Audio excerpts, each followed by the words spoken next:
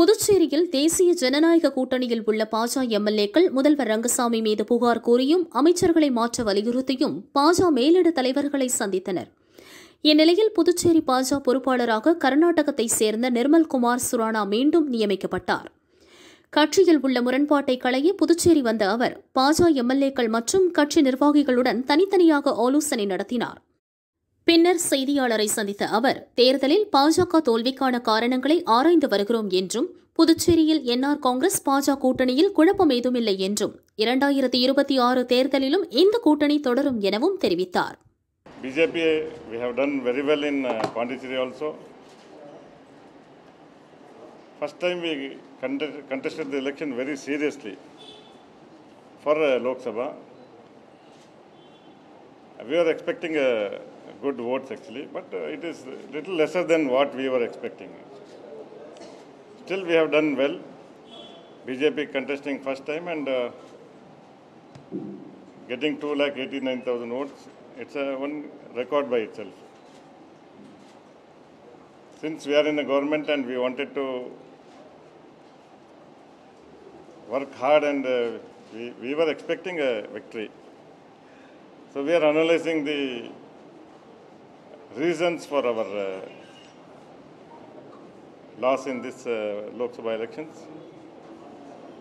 As long as our uh, workers and our party is concerned, we are happy with whatever we have got the votes actually. Because we have contested first time in uh, uh, parliament in uh, Pondicherry. Earlier we had, we had contested in 2004. But recent days, this is the first election we have contested so seriously and our alliance partner NR Congress also, we have worked very hard. And almost all the constituencies we have got good votes. But not as we have expected and we have been uh, analyzing what is the reason and we'll be working for the whatever the mistakes has happened in this election.